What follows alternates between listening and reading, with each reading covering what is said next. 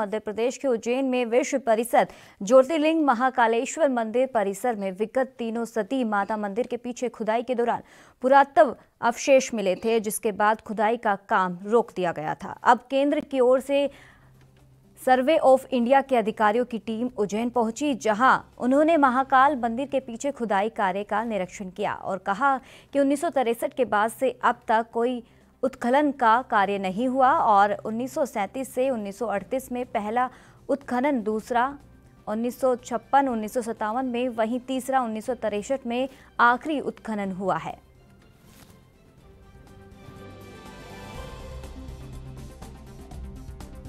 आपकी टीम आई थी, किस प्रकार से उन्होंने निरीक्षण किया और उनका कहना था कि मंदिर समिति से उन्होंने कुछ जानकारियाँ दी? किस प्रकार की जानकारियाँ दी? देखिए, आज जो आप बता रहे हैं जो पुरातत्व के विभाग भोपाल से अधिकारीगण आए ये एक सामान्य प्रक्रिया है, कोई इस तरह से अवशेष, पुरावशेष निकलते हैं तो उसका अध्ययन करते हैं, उसी के अनुक्रम में ये आज अध्ययन करने आए हैं।